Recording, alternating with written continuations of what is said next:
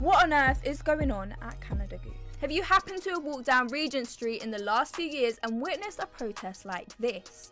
Well, it's because for the last 15 years, the public have been campaigning against the use of real fur within their jackets, and finally, the brand has agreed to go furless by the end of 2022. And that is